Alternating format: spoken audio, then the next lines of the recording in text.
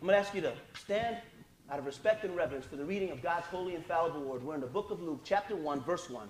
I'm going to read a couple verses of scripture. We're going to put our Bibles down. We're going to sit down, and I'm going to move my way through two chapters at a very brief pace. All right? So stay with me here.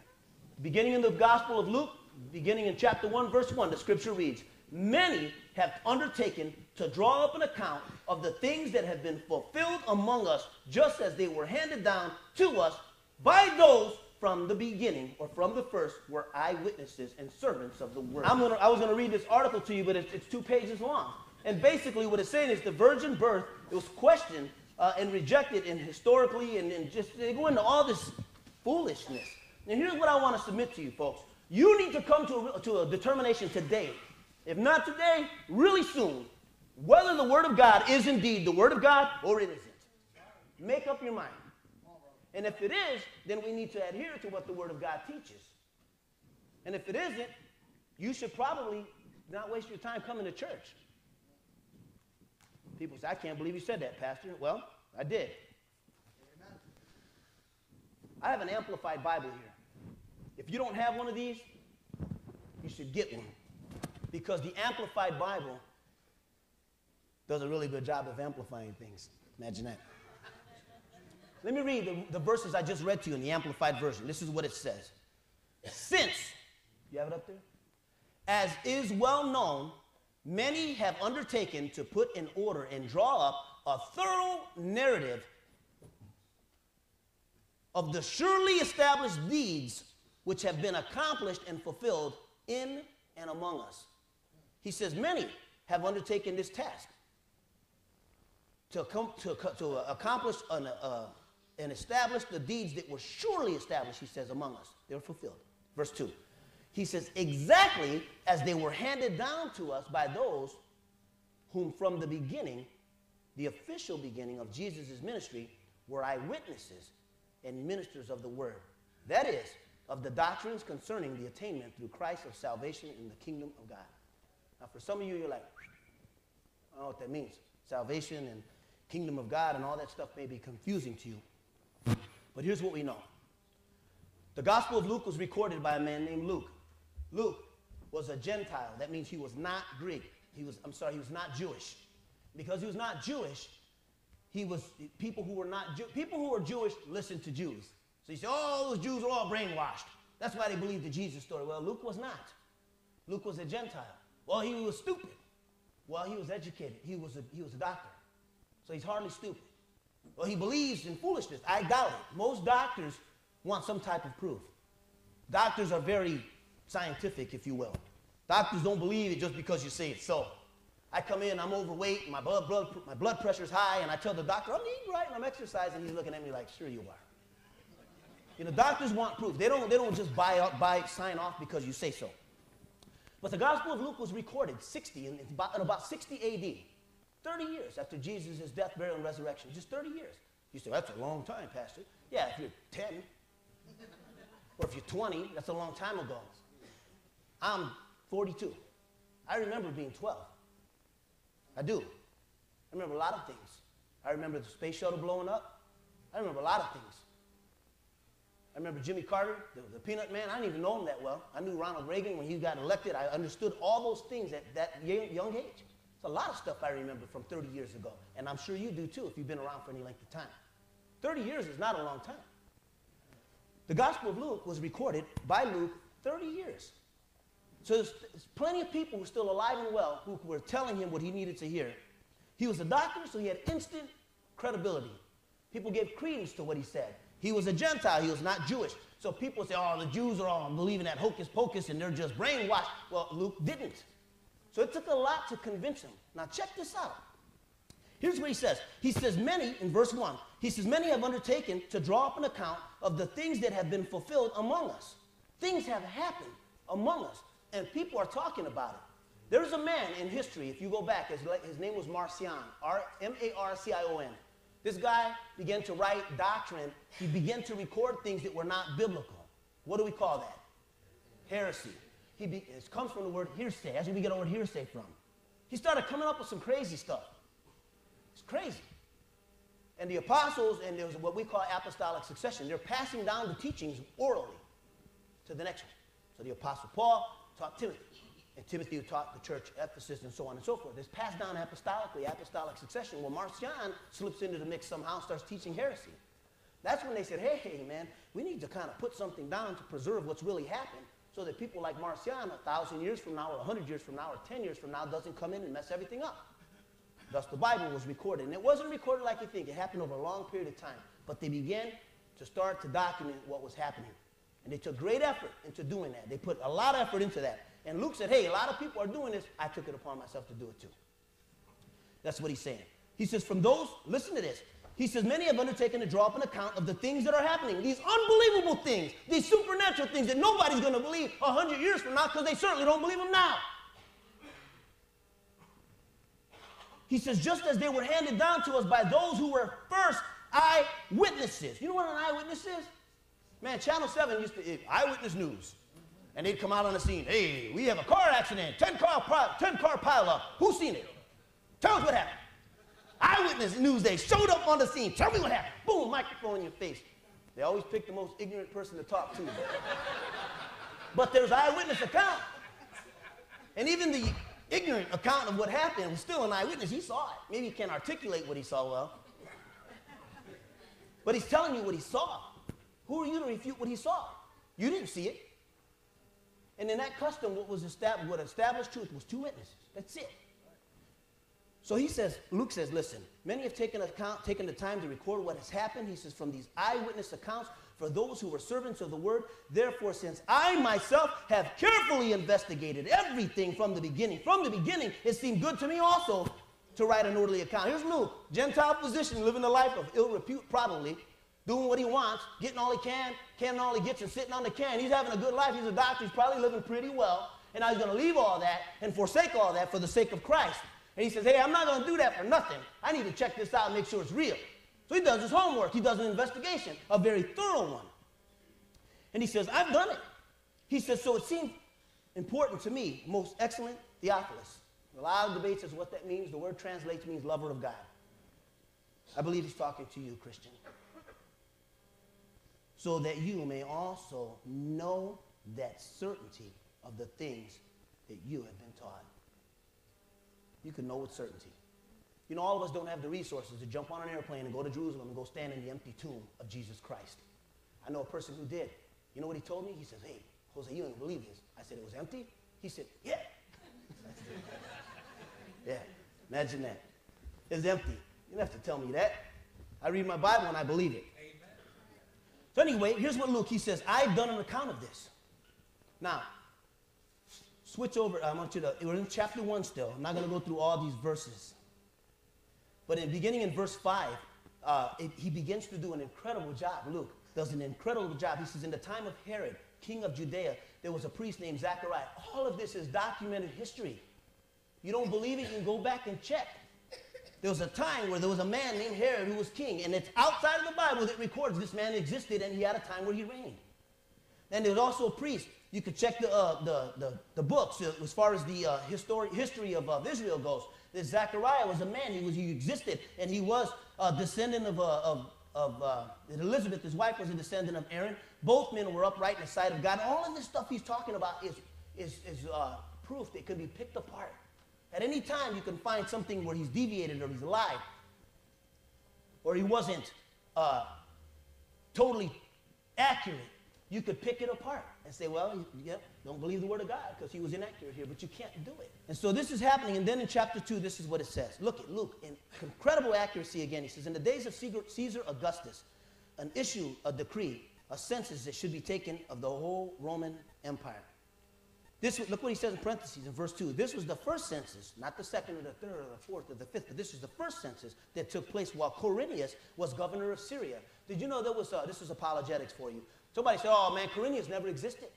They actually went out there to try to find if this guy really existed. This is hogwash, they say.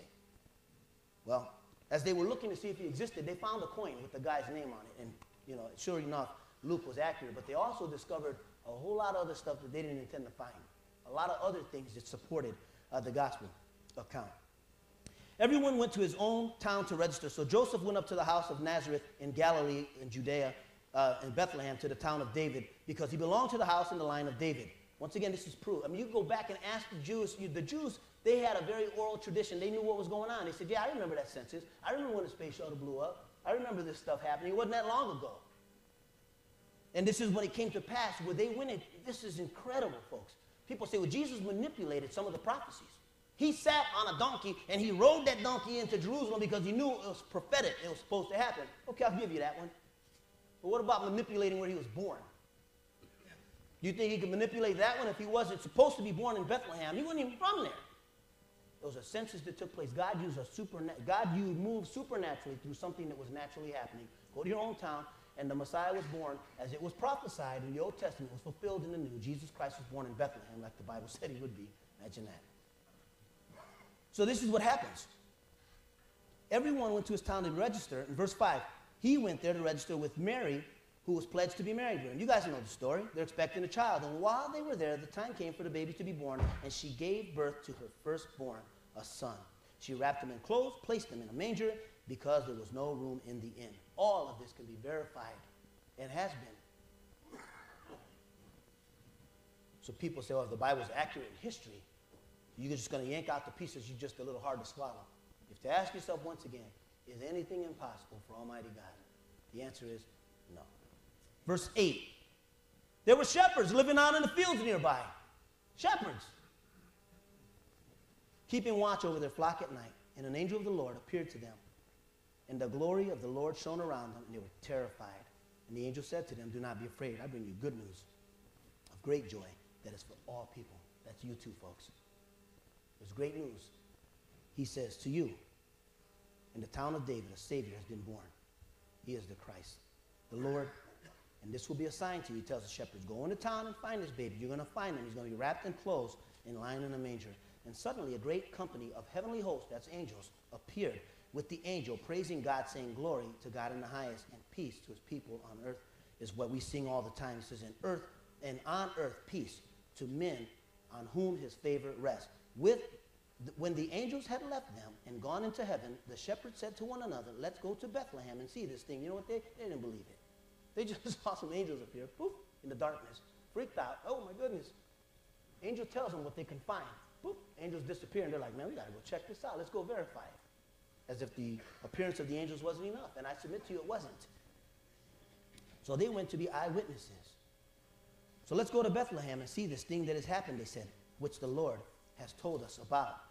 So they hurried off and found Mary and Joseph and the baby who was lying in the manger. When they had seen him, they spread the word. They seen him just like the angels had said they would. They spread the word concerning what has been told about this child, and all who heard it were amazed at what the shepherds said to them. But Mary treasured up all these things, pondering in her heart.